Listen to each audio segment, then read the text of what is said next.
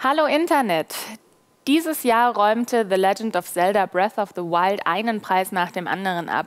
Das bedeutet aber noch lange nicht, dass sich die Macher jetzt auf ihrem Erfolg ausruhen. In einem kürzlich erschienenen Buch The Legend of Zelda Breath of the Wild Masterworks bestätigte Eiji Aonuma, dass es ganz normal ist, dass sie bereits am nächsten Titel arbeiten, bevor der letzte Teil überhaupt erschienen ist.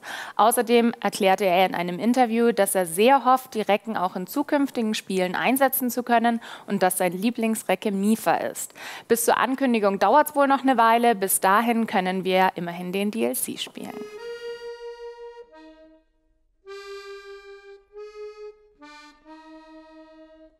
Nachdem sie in der Lootbox-Kontroverse selbst hoch in der Kritik standen, gibt es das erste Update für Need for Speed Payback jetzt für lau und das ist auch gar nicht mal so klein. Speedcross umfasst 16 Events, also vier für jede der vier Zonen.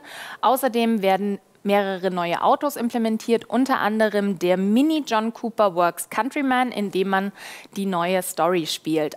Außerdem sind weitere herrenlose Wagen über die ganze Map verteilt, die man auch behalten kann, wenn man denn der Polizei entkommt. Fünf zusätzliche Autos, die bisher vom Gameplay gelockt waren, sind außerdem sofort spielbar und auch die neue Strecke hat es ziemlich in sich. Des Weiteren reagieren Ghost Games auf Kritik zum Spiel. Das Spiel sei zu grindy und auch die Karriere sei ein bisschen zu schwierig. Deswegen werden sie dazu auch in Zukunft neue Updates bringen. Bis dahin könnt ihr das neue Update spielen erstmal. Das ist ab morgen verfügbar und wie gesagt komplett kostenlos.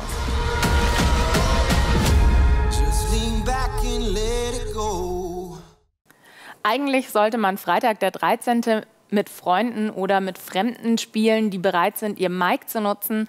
Aber die Götter des Solo-Players sind uns gnädig, denn Elphonic implementiert einen Modus, in dem man als Jason gegen Bots antreten kann. Außerdem wird auch das maximale Level von 101 und 100 auf 150 angehoben und morgen startet außerdem das Weihnachtsevent. Das ist im Gegensatz zu den Events anderer Spieler ein bisschen traurig, denn eigentlich ändert sich nur die Drop Rate der seltenen Items. Am 23. Dezember startet die zweite Phase des Weihnachtsevents. Da findet man häufiger Tapes von Pamela und Jarvis.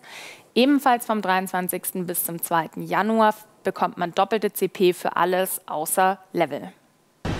Jason Voorhees has returned.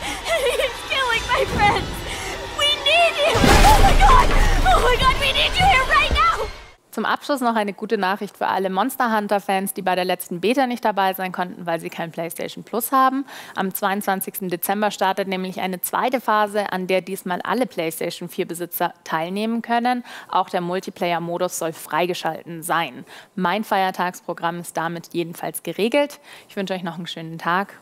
Bis bald.